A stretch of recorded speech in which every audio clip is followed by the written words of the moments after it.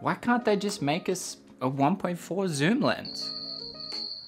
Well, although technology is maybe getting slightly closer to this, it's pretty unlikely that we'll see an f1.4 zoom lens on a full frame camera anytime soon. So in the meantime, like a lot of people out there, prime lenses for a lot of situations are still really my go-to. And there's one I've been reaching for more and more recently especially when it comes to travel. It's also the lens that I'm filming on right now and the one that I now use for all these talking head type of videos for YouTube What's cracking my photography friends? I'm TK North. Today we're talking about one of my new favorite lenses. If you clicked on this, you'll know that's the 24mm 1.4 and specifically I'll be talking about the Sigma 24 because that's the 24 that I own. I use it with both my Canon R5 and R6. So it's an EF mount lens. I do use it with the adapter for these cameras and yes, it works perfectly fine with the adapter. It is actually my most recent lens purchase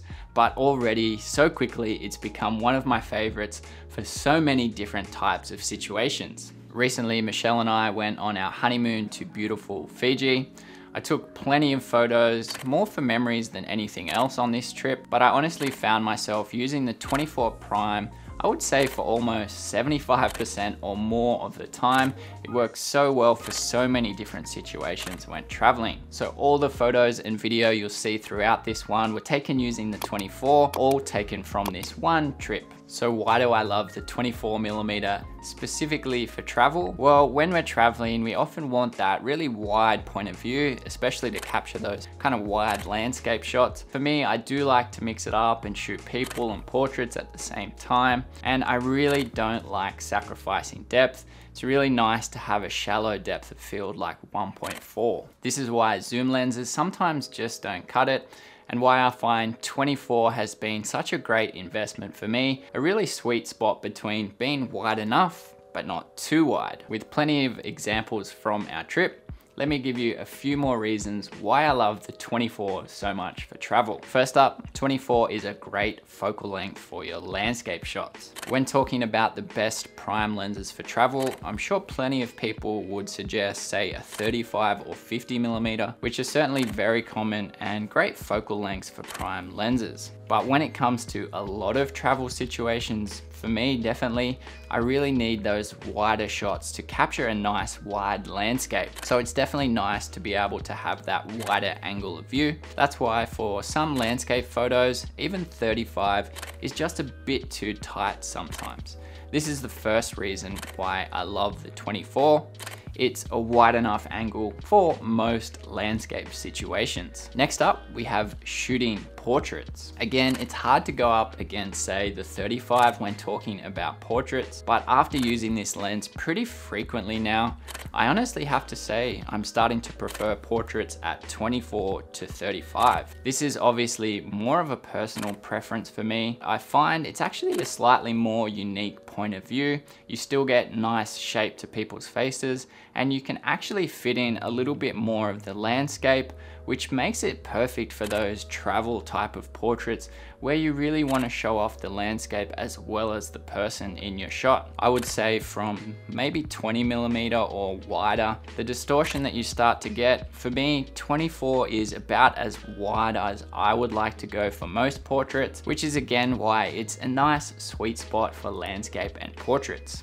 Next up, it's great for video. If you caught one of my most recent videos, I shared some footage from this trip to Fiji, almost entirely shot on the 24mm. You can check this video out up the top there if you're keen to see more.